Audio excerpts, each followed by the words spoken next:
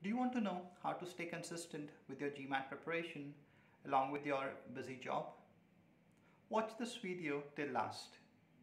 Hi, my name is Mandeep. I'm a GMAT coach and founder of GMAT Mantra. I help committed GMAT students to score 700 plus on GMAT by giving structure and consistency to their preparation. In August this year, student joined my GMAT classes.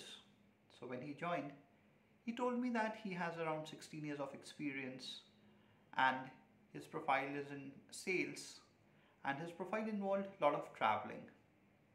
But he said that he will manage his studies along with his job. I said, fine, let's start with the classes. So during the first week, he attended all the classes, he completed his homework. But after that, he started missing classes, he failed to complete homework on time. I asked him why is he getting so inconsistent.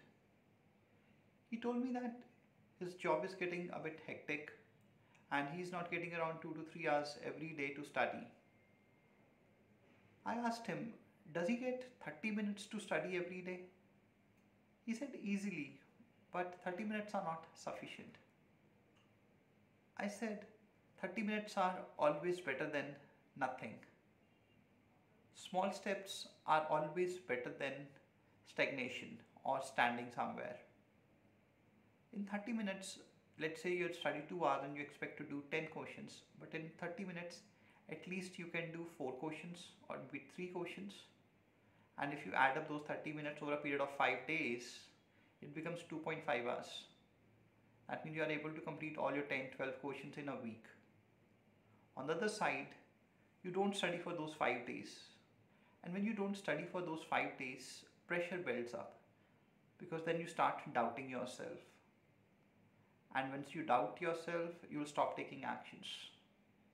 So best way to stay consistent along with your busy job is even if you get 15 minutes or maybe 10 minutes, do one question because there will be days when you get 10 minutes and then there will be days when you get 30 minutes and then there will be days when you get more than that also. But it's on momentum. And how do you build momentum? Consistently take small actions. So don't wait for you know when i get two hours or maybe three hours slot every day only then i'll study. Every day whenever you get 15 minutes maybe 30 minutes wherever you get the time utilize it make take a small step. Don't wait for the big steps Try to follow this over a period of time. After a month, you will see that you have a momentum. And once momentum is there, automatically you become consistent. Hope this helps you to bring consistency in your GMAT preparation. Thank you.